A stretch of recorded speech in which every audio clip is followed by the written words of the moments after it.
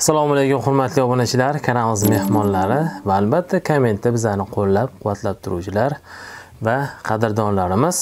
Bugun vivo x50 pro smartfoni haqida video tavsif bo'ladi. Ushbu smartfon albatta vivo x50 dan ko'ra taxminan 200 dollar atrofida qimmatroq ushbu smartfon taxminan 700 dollar atrofida sotiladi. 8256 gigabaytli versiyasi. Hali sotuv narxi aniq emas o'zbekistonda.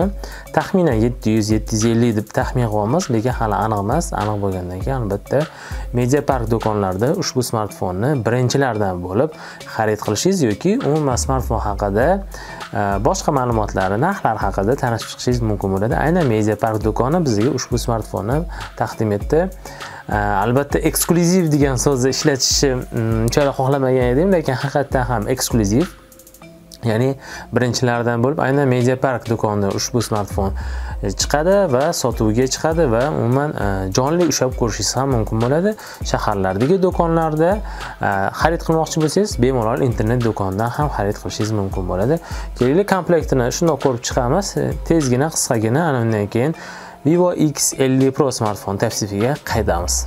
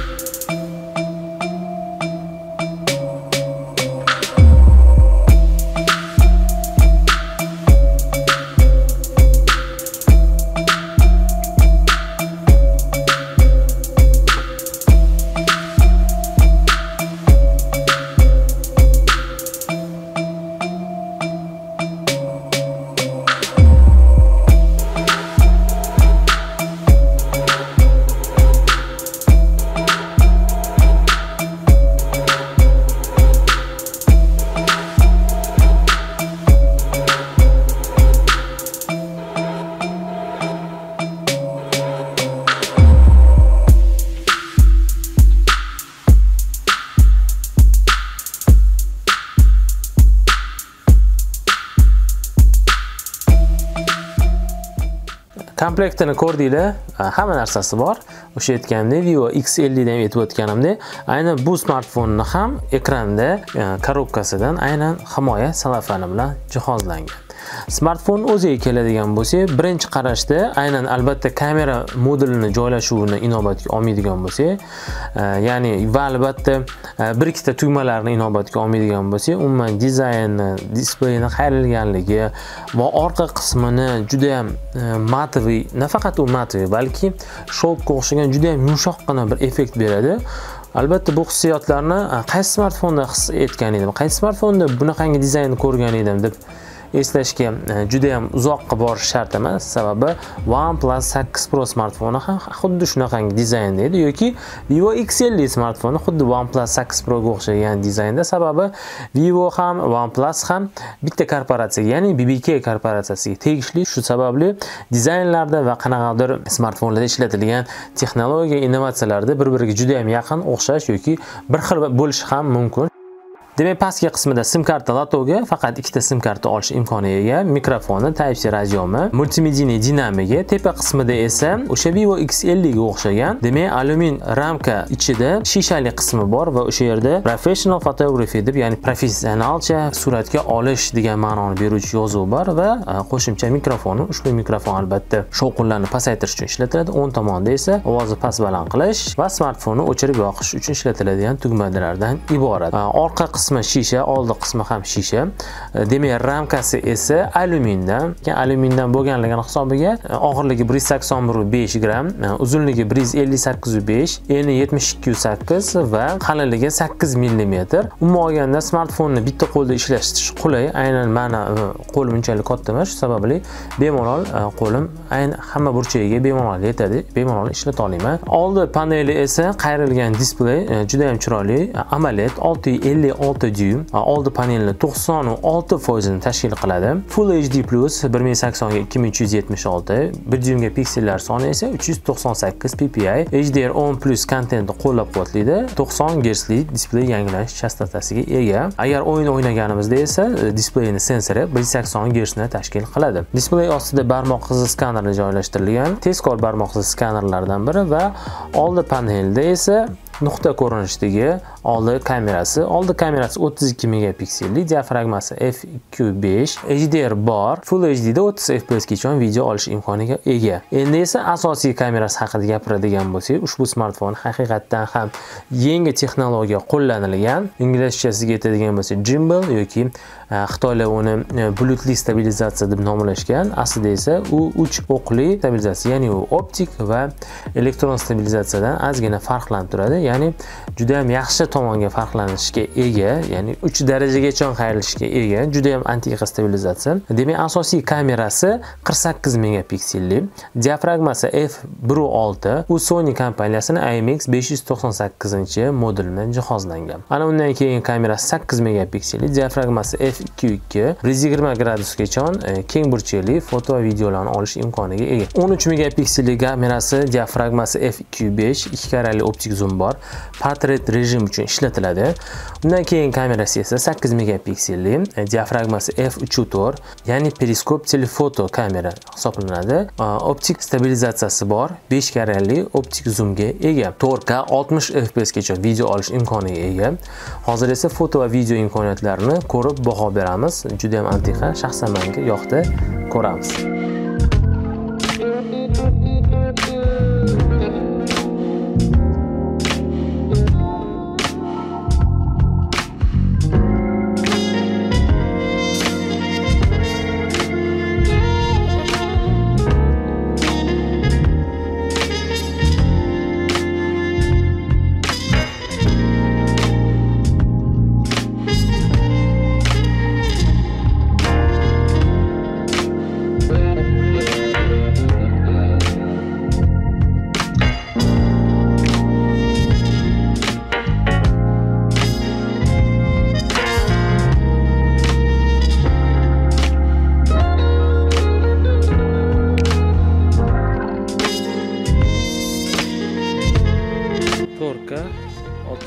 Fpsda video olamiz video test. Ko'ramiz baho beramiz 4k 60 fps 4k 60 fps da video olamiz yaqinlashtirish imkoni bor hozir 1x 2x 6x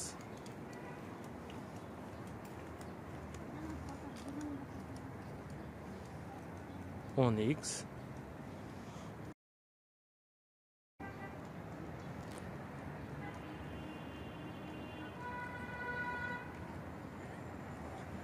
ko'ramiz baho beramiz demak video test full hd 60 fpsda aynan zinada. Demak zinadan tushib chiqyapmiz tushyapmiz zinadan tushyapmiz va video test. Aynan zinaga ko'ramiz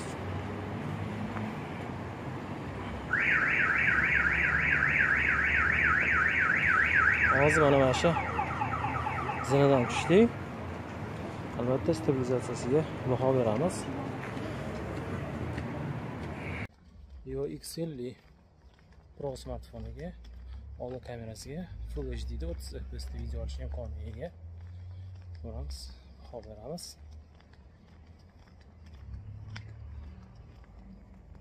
Hdr 4k 60 fpsda da olamiz ko'ramiz. Mashina chiroqlari. Baho beramiz. Stabilizatsiyaga va tasvir sifatiga. Vivo x50 pro smartfoniga full hd 60 fpsda video olamiz. Tungi rejim. Shahar doimgidek sizlarga tanish ko'chalar. Stabilizatsiyasi va tasvir sifatini ko'rib baho berishimiz mumkin. Albatta ushbu smartfonda stabilizatsiyaga juda ham yaxshi e'tibor berishgan ko'ramiz baho beramiz.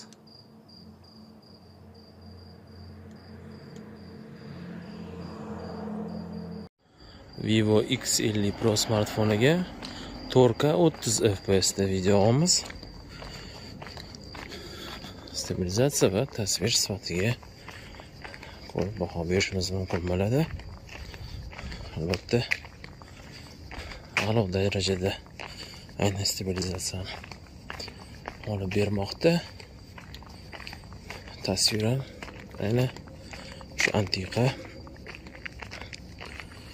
stabilizatsiyasini hisobiga ham tasvir sifati ham ancha yaxshi. Aynan ko'rishingiz mumkin. Baho beramiz. Full HD 30 fps oldi kamerasi video test. Hozir qorong'uroq joyga o'tamiz. Oldi kamerasi. Yorug'lik juda ham kam bo'lgan joyda o'zini qanaqa tutishini ko'rishimiz mumkin.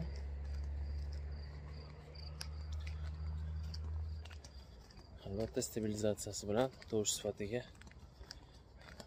sizlar yaxshiroq baho bera olasizlar foto va video imkoniyatlarini ko'rdinglar stabilizatsiyasiga manimcha gap yo'q vivo x50 pro smartfonni foto imkoniyatlari va video imkoniyatlari tungi rejimda aynan google pixel 4 xl smartfondan solishtirib ko'rdik. Sababi android olamidagi e, foto namunalari bo'yicha nisbatan yaxshi natijaga ega bo'lgan smartfonlardan biri google pixel 4 xl shu sababli qani qanchalik namunaviy bo'lgan smartfon bilan qanchalik bellasha oladi degan edik manimcha umuman kamchiligi yo'q. Kamera imkoniyatlari bo'yicha bemalol flagmanlar qatoriga qo'shila oladigan smartfonlardan biri vivo x50 smartfoniga 4315 mAh soatli akkumulyator bilan jihozlangan albatta ushbu smartfonni quvvatlash uchun esa 33 vatli tezkor quvvatlashga ega ya'ni yarim soatda 57% gacha quvvatlash imkoniga ega. YouTube da 480p e, da yarim soat video ko'rganimizda ya'ni o'rta yorug'likda 5% quvvati ketdi. Pubg mobile va call of duty o'yinlarini o'ynaganimizda esa yarim soatda 7% foiz quvvati ketdi. Smartfon to'laqonli mm, bir yarim kunni bemalol yetib beradi. Demak displey yoq holatda ishlashi yetti yarim hattoki sakkiz soatgacha yetadi. Albatta bu siz ishlatishingiz ssenariyingizga bog'liq. Ushbu smartfonda esa antiqa protsessor ya'ni snapdragon 765 g 7 nanometrli tex protsess asosida chiqarilgan. Adreno 620 bilan birgalikda ishlaydi. Snapdragon 765 g antutuda Э, 324 ming ball yig'adi. Throttling testi esa вообще mani hayron qoldirdi. Ya'ni o'z imkoniyatlaridan 94 foizda ishladi. Bu juda ham yuqori natija. Bu hattoki e, black shark 3 e, nubia red magic kabi smartfonlar ham e, ayrim hollarda bu natijaga erisha olmasligi mumkin. Albatta bu flagmanlar protsessor emas lekin yana aytib o'tamiz aynan android 10 da OS 10.5 versiyasida ishlaganligi uchun hech qanaqangi qotishlar, mikro qotishlar o'yinida esa haqiqatdan ham uchadi desa ham bo'ladi. Ushbu smartfon eh, PUBG Mobile bemalol ultra sozlamalarda o'ynasa bo'ladi. O'yinlarni yoqqanimizda smartfonni o'zini o'yinlar uchun moslashgan tezlatuvchi rejimi bor. Ushbu rejimda smartfon juda yaxshi ishlaydi. Doimiy xotira turi UFS 2.1, operativ xotira turi esa LPDDR4X. NFC, Wi-Fi dual band, e, Bluetooth 5 e, type c razyomi reversiv ya'ni o'zidan quvvat berish imkoniga ham ega albatta barcha e, zamonaviy texnologiyalar qo'llanilgan simsiz quvvatlash suv va changdan himoyaga ega emas. Vivo x50 pro smartfoni 8128 va 8256 gigabaytli versiyalari bor. Bizani qo'limizdagi bu e, 8256 gigabaytli versiyasi. Demak to'q ko'k va och ko'k rangli versiyalari bor bizani qo'limizdagi bu to'q ko'k versiyasi dinamiga afsus stereo emas balki mono aynan snapdragon 765g va bunaqangi chiroyli yaxshi sifatli displey bilan va 4315 mAh akkumulyator bilan mazax o'yin o'ynasa bo'lardi deyishimiz mumkin. Lekin mana shu bitta kamchiligi bor ya'ni e, dinamigi mono eshitib ko'rsak bo'ladi.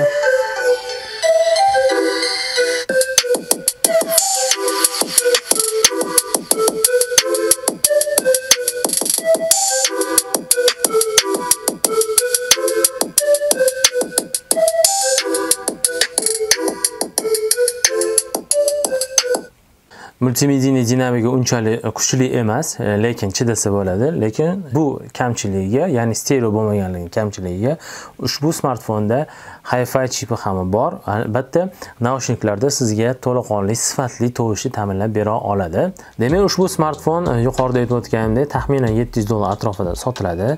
Va eng qiziqarlisi aynan o'zbekistonda bunaqangi marketing yo'lini yo'lga qo'yishgani va bunaqangi yo'l bilan e, sotuvlarni amalga oshirishgani bizni aynan bizga o'xshagan oluvchilar va sizga o'xshagan foydalanuvchilar uchun juda ham yaxshi narsa. Ya'ni vivo x50 pro smartfonni xarid qilganingizda sizga e, mana bunday smart soat va e, tvs naushniklar sovg'a sifatida taqdim etiladi. Bu juda ham yaxshi e, sovg'alardan biri. Ya'ni siz to'laqonli smartfonni o'zi kompleksida barcha kerakli narsalar bor edi. Undan tashqari sizga smart soat va naushniklar berilgandan keyin nima desa bo'ladi? Xuddi amerikalik soldatlarga o'xshab barcha ish qurollaringiz soz bo'ladi va ishingiz juda ham unumdorli bo'ladi deb o'ylaymiz. Umuman vivo x50 pro smartfoni haqida nima deyishimiz mumkin? Agarda sizga oneplus 8 8 pro smartfonlar yoqadigan bo'lsa albatta vivo x50 pro smartfoni ham yoqib qoladi. Sababi snapdragon 765 g unaqangi yomon yoki o'rtacha bo'lgan protsessor emas